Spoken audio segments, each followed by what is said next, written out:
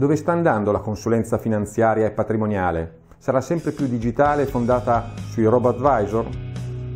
Quali vantaggi soprattutto i risparmiatori potranno ottenere da questa eventuale rivoluzione? I computer sostituiranno sempre più i gestori e i consulenti finanziari nelle scelte e nelle strategie di investimento? Continua la nostra inchiesta sull'argomento e siamo volati nelle scorse settimane dall'Italia nella City londinese per incontrare alcuni protagonisti ed esperti del settore in occasione di una delle più importanti fiere delle novità tecnologiche applicate alla finanza, Finovate. E in questa intervista incontriamo Stéphane Dubois, numero uno e fondatore di X Ignite, società leader nella Silicon Valley del cosiddetto mercato del Financial Market Data Cloud Solution. Tra i clienti di questa società, oltre mille istituzioni finanziarie di tutto il mondo, dal Nasdaq alla borsa italiana, inclusi i numeri uno del cosiddetto robot advisoring, nomi molto noti del settore come Wealthfront, Betterment, Personal Capital e molti altri. E se c'è qualcuno in questo settore, fra le tante persone che ho intervistato, che ha una chiara visione del mercato, è sicuramente questo francese che ha fatto fortuna negli Stati Uniti. Sentiamolo, ecco l'intervista.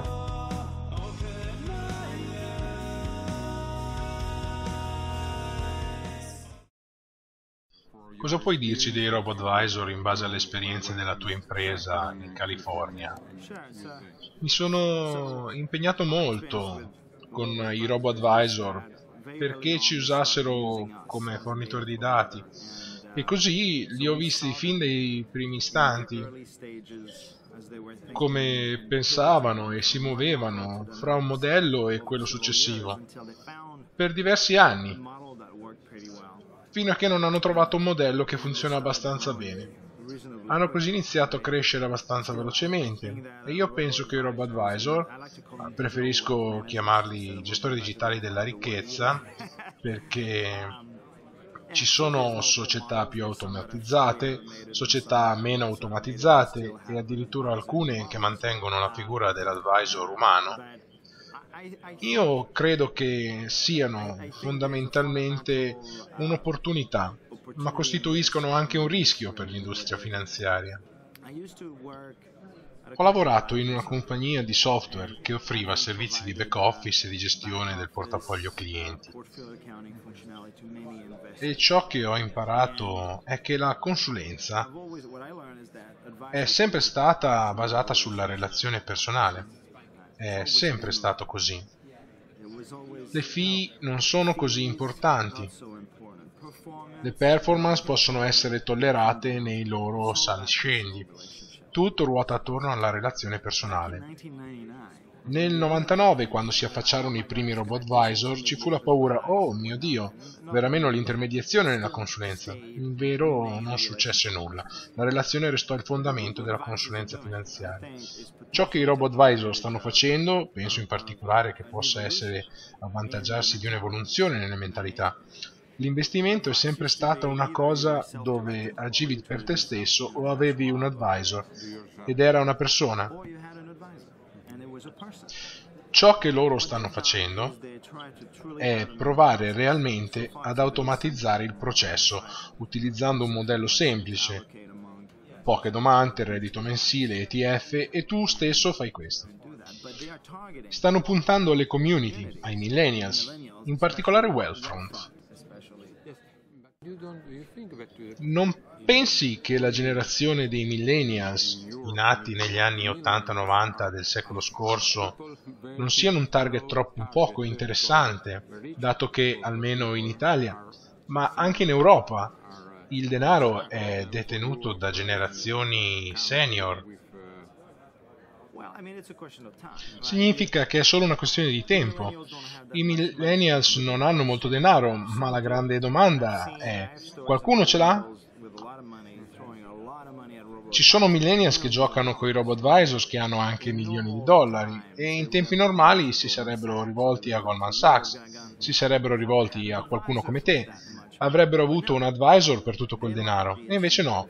Loro amano la gratificazione immediata, amano l'automazione, e la domanda diventa, Come cresceranno? Quando avranno il denaro, quanti di loro continueranno ad usare i robo-advisor invece di rivolgersi ad un advisor tradizionale?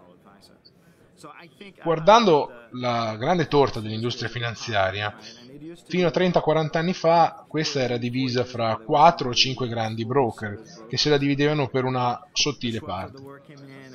Negli anni 90 i broker sono aumentati e ne hanno preso un'altra parte.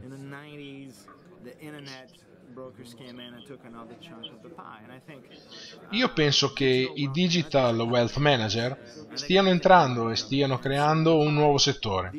Continueranno ad esserci tutti i vecchi servizi, i consulenti, ci sarà sempre Schwab, eccetera. Ma questo è un nuovo segmento che raggiungerà la piena maturazione nei prossimi anni. Ciò che queste persone hanno fatto è che l'industria precedente non ha realmente provato a fare, è automatizzare completamente i processi. Loro non vogliono fare nulla di manuale e quindi hanno preso tutte le fasi del processo e le hanno completamente automatizzate, rendendole molto scalabili e molto economiche, cioè poco costose.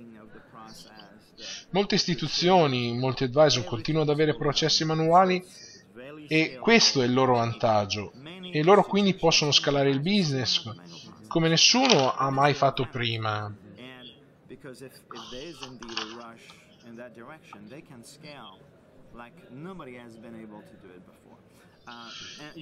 Tu, ad esempio, conosci Andy Radcliffe di Wealthfront. Lui ti dirà che inizialmente il suo modello era completamente diverso che ha cambiato e ricambiato molteplici volte fino a che non ha trovato un modello stabile e che sta utilizzando attualmente, riuscendo ad automatizzare ogni parte del processo, a partire dalla raccolta dei fondi dei clienti con i quali puoi iniziare ad investire. Questo perché i millennials altrimenti rinuncerebbero. Se non posso fare questo oggi me ne vado da qualcun altro. Non pensi che riguardo ai robot advisor ci sia un problema di sopravvalutazione dei loro titoli? Sì, queste aziende hanno delle valutazioni elevate, ma il mercato è molto grande, ci sono molti asset e con molte aree in cui crescere. E se consideri che loro hanno comunque la possibilità di muoversi con un modello di business molto lento, hanno molto tempo e inoltre il modello è solido, quindi queste valutazioni hanno senso. Credo che ci saranno delle fluttuazioni prima che possano migliorare ancora, ma non credo che ci sarà mai un crollo. Penso questo a causa del rimpiazzo generazionale. Fino al 1999 eravamo lo stesso tipo di persone, non avevamo cambiato le nostre abitudini. Ora stiamo parlando di un insieme diverso di persone. Abbiamo valutato più di 20 attori nel settore, come ad esempio Wealthfront o Betterment, prima di venire qui a Finoid. Tutte queste aziende sono molto simili tra loro, a partire dall'approccio grafico fino anche ai portafogli suggeriti. Non credi che sia un problema il fatto di proporre tutti la stessa soluzione con una gestione passiva senza diversificare sostanzialmente l'offerta? Non si corre il rischio di non dare un reale valore aggiunto al cliente vendendo tutti la stessa cosa? Scalable, mm-hmm. right? Now, you can look at the industry and think that, you know, a lot of people in the industry mm-hmm. are not doing anything different. Right? They, they, they'll I'll sit down with you and I'll understand you and I'll come up with an investment strategy and you have your own secret sauce. Sì, è vero, loro hanno tutti il solito approccio, ma in questo modo sono molto scalabili. Nell'industria, tuttavia, molte persone fanno comunque le solite cose. Non vedo differenze. Mi siedo con te, tu mi racconti della tua formula segreta e poi opero con i fondi o con gli ETF che comunque sono automatizzati. Oggi sono semplici, ma inizieranno a diventare complessi, aumentando le strategie, ma non lo faranno fanno velocemente perché vogliono restare totalmente automatizzati. Così, prima di andare ad operare in determinate classi di investimento o a diventare globali, vogliono essere sicuri di poterlo fare automaticamente. Tu sai quanto è difficoltoso e complesso il tuo business. Dai un'occhiata invece a loro. Hanno tempo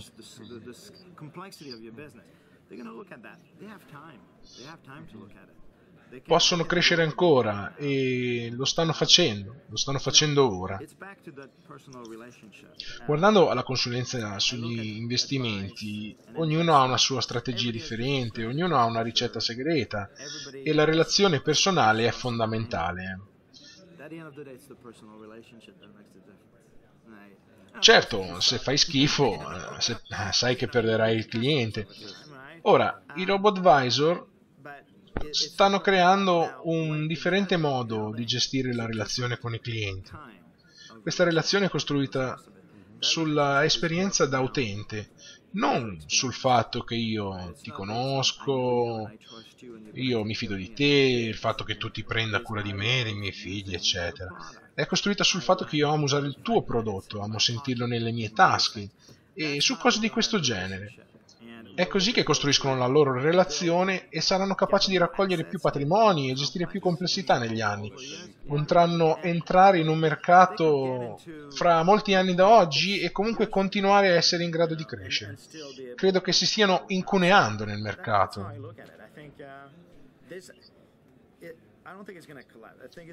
La vera domanda è quanto è grosso questo cuneo. Cosa ne pensi di questa edizione di Finovate e suppongo tu abbia partecipato ad altre edizioni anche negli Stati Uniti? Considerando anche l'attività ovviamente svolta dalla tua azienda, cosa ritieni di maggiore interesse e con maggiore impatto innovativo?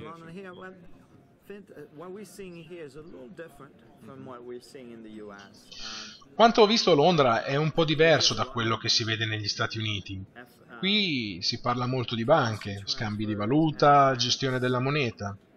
Non ci sono così tante presentazioni legate al capital market investment in questi due giorni, sono state poche e riguardavano il, la gestione del portafoglio.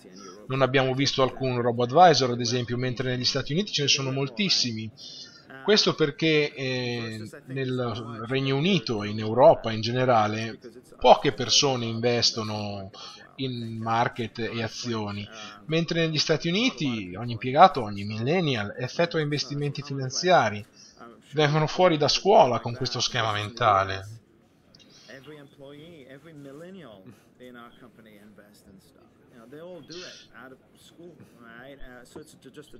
Questa è la principale differenza che ho notato. Abbiamo vi- anche visto qualche idea di investimento in cui Londra è molto forte e evoluta, soprattutto sul mercato delle valute e sulle banche.